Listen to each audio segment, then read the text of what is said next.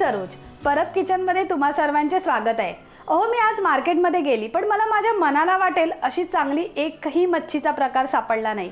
त्यावेळेला मला दिसली आहे सुका जवळा आणि मला आठवलं माझ्या आजीने शिकवलेली सुक्या जवळ्याची रेसिपी ही भाकरीबरोबर एक नंबर रेसिपी लागते. तर मला वाटलं की ही सुक्या जवळ्याची सुकी सणसणीत अशी नंबर वन रेसिपी तुमच्याबरोबर शेअर करावी. तर चला पाहूया या सुक्या जवळ्याला लागणारं साहित्य आणि कृती.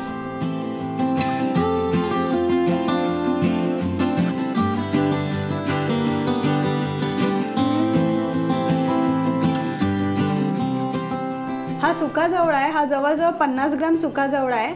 हा जवळा जेव्हा आपण घरी घेऊन येतो त्यावेळेला याला स्वच्छ असं साफ करण्याची गरज असते कारण हा समुद्रकिनारी सुकवला जातो. ते त्याच्यामुळे जेव्हा आपण हा घरी आणू ना त्यावेळेला याला व्यवस्थित साफ करूनच स्टोअर करून ठेवावा. ते कधी कधी अशी वेगळ्या प्रकारची सुकवलेली मच्छी पण असते ही आपल्याला साफ करून बाजूला काढून घ्यायची असते. असं हे निवडून घ्यायचं असतं आपल्याला. हे बघा. त्यानंतर हे तीन मीडियम आकाराचे कांदे घेतलेत ज्यांना मी बारीक असं चिरलेलं आहे. त्यानंतर तीन कांद्यांबरोबर आपल्याला हे दोन टमाटर लागणार आहेत. त्यांना पण मी बारीक असं रफली चॉप करून घेतलं आहे हे चवीसाठी मीठ आहे.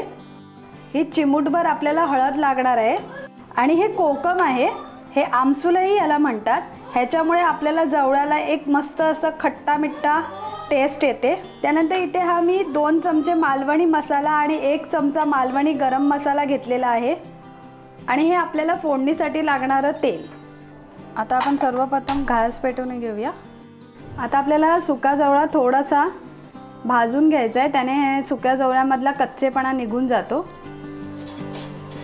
हा सुका जवळा थोडासा असा लालसर होईपर्यंत भाजून घ्यायचा. त्याच्यामुळे दोन फायदे आहेत. एक तर त्याचा कच्चेपणा निघून जातो आणि दुसरा म्हणजे याची चव वाढते. हा जवळा थोडासा असा परतवून घ्यायचा लालसर होईपर्यंत. हा बघा याचा सुरुवातीला कलर असा सफेद असतो पण जसजसा हा जवळा भाजला जातो ना तसतसा याचा कलर बघा हा थोडासा लालसर जो होत चालला आहे ना. आणि याचा एक वासही यायला सुरुवात होतोय तेव्हा समजून जायचं की जवळा आपला भाजलेला आहे. आता माझा हा जवळा भाजून झालाय आता ह्याला मी माझ्या वाडग्यामध्ये काढून घेते. मी आता याला वाडग्यामध्ये काढून घेते आणि ह्याच्यामध्ये आपण पाणी टाकणार आहोत जेणेकरून हा जो चुरा आहे ना हा दिसतोय तुम्हाला चुरा? हा ह्या पाण्यामुळे काय होईल? खाली बसेल आणि आपल्याला जो हा जो अख्खा अख्खा जवळा आहे ना तो मिळणार. त्यामुळे नक्की तुम्ही हा जवळा असा थोडासा भाजून घ्या लालसर होईपर्यंत. पाणी तेवढं घालायचं जेवढा हा जवळा वर येईल. आपण तो जवळा पाण्यामध्ये ठेवला आहे तोपर्यंत आपण पुढच्या प्रोसेसला सुरू करूया. आता इथे मी दोन टेबल स्पून तेल घालून घेते. कढई थोडी तापली आहे. यामध्ये आता हे माझे तीन मीडियम साईजचे कांदे जे मी बारीक कापून घेतले ते टाकते. हे आपल्याला परतवून घ्यायचे आहेत तेलावर. ह्यांना आपल्याला तोपर्यंत परतवायचं आहे जोपर्यंत हे ट्रान्सपरंट होत नाही. कांदे लवकर फ्राय होण्यासाठी ह्याच्यामध्ये मी थोडंसं मीठ टाकलं आहे हे लवकर असे ट्रान्सपरंट होतात जास्त वेळ घेत नाही. सतत असं ढवळत राहायचं. आणि हे बघा ट्रान्सपरंट झालेले आहेत. आता ह्यामध्ये मी हे चॉप केलेले टोमॅटो ॲड करते. आणि ह्यांनाही आपल्याला व्यवस्थित शिजवून घ्यायचं आहे एक छोटीशी टीप देते. हळद जेव्हा आपण फोडणीसाठी हळद किंवा मसाला देतो ना त्यावेळेला ते तेलामध्ये देऊ नये. अगर द्यायचे असतील ना त्यावेळेला गॅस स्लो करावा नाहीतर काय होतं हळद आणि मसाले जळतात. छोटीशी टीप जी मी तुमच्याबरोबर शेअर केली आहे ती माझ्या आजीने सांगितलेली. चिमूटभर हळद मी ॲड करते. दोन चमचे मालवणी मसाला ॲड करते आणि एक चमचा माझा जो गरम मसाला आहे तो ॲड करते. हे ॲड केल्यावर आपल्याला लवकर असं ढवळून घ्यायचं आहे त्याने काय होतं आपले कांदे टमाटर लवकर शिजायला मदतही होते. अजून एक टीप काय माहिती आहे माझ्या आजीने सांगितलेलं आहे. कुठल्याही प्रकारचं नॉनव्हेज जेव्हा असेल ना थोडंसं स्पायसी बनवायचं. स्पायसी बनवल्याने काय होतं माहिती आहे जेवणाला मज्जा येते जेवताना. जर ते थोडंसं गोडच असेल ना तर मुळमुळीतपणामुळे ना आपल्याला जेवणाला चव येत नाही. बघा कांदा आणि टमाटरची ग्रेव्ही माझी झालेली आहे. त्याच्यामध्ये आता माझा सुका जवला मी ॲड करणार आहे. त्या अगोदर आपल्याला गॅसची फ्लेम अशी स्लो ठेवायची आहे. ह्याला मी ॲड करताना असं थोडंसं वर हातात घेणार आहे. दोन्ही हातामध्ये घेऊन मी असा पिळून ॲड करणार आहे. तुम्हाला पाहिजे तर ह्याला गाळूनसुद्धा तुम्ही गाळणीचा वापर करून गाळूनसुद्धा ॲड करू शकता. असं पिळून घ्यायचं आपल्याला. आणि मग ह्याच्यामध्ये ह्याला ॲड करायचं आहे हे बघा ह्याच्या खाली ह्याचा गाळ बसलेला आहे. फक्त आपल्याला जो अख्खा जवळा आहे तोच मिळालेला आहे.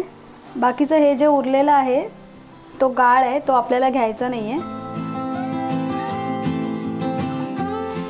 असं ढवळून एकजीव करून घ्यायचं आहे तर ह्याला आपल्याला वाफ काढायची आहे त्याच्यामुळे आता मी ह्याच्यावर झाकण ठेवणार आहे. आता हा जवळा आपल्याला मंद आचेवर थोडा वेळ शिजवून घ्यायचा आहे आलं लसूणच्या पेस्टचा वापर त्या काळात माझी आजी करत नव्हती म्हणून मीही या रेसिपीमध्ये आलं लसूणच्या पेस्टचा वापर केलेला नाही आहे आता आपण चेक करूया. आपला जवळा जवळजवळ होत आलेला आहे आता ह्या जवळ्यामध्ये आपण कोकम ॲड करूया. असे बारीक तुकडे करून ॲड करायचे. आणि चवीसाठी मीठ. सुक्या जवळ्याच्या रेसिपीमध्ये मिठाचा थोडा कमी वापर करायचा कारण सुका जवळा सुकवताना त्याला मीठ लावूनच सुकवलं जातं. आता माझा हा जवळा तयार झालेला आहे त्याच्यावर आपण आता कोथिंबीर घालूया. शेवटची प्रोसेस गार्निशिंगसाठी आपण ही कोथिंबीर टाकत. आहोत अशी ही माझी सुक्या जवळ्याची रेसिपी तयार झालेली आहे. या सुक्या जवळ्याची रेसिपी तुम्ही नक्की गरमागरम भाकरीबरोबर ट्राय करा आणि मला सांगा की कशी झाली. आणि कमेंट सेक्शनमध्ये सांगा की तुम्हाला अजून कोणत्या नवीन रेसिपी पाहायच्या आहेत. आणि माझं चॅनल हो लाईक सबस्क्राईब आणि शेअर करायला विसरू नका. तर पुन्हा भेटूया नवीन रेसिपीसोबत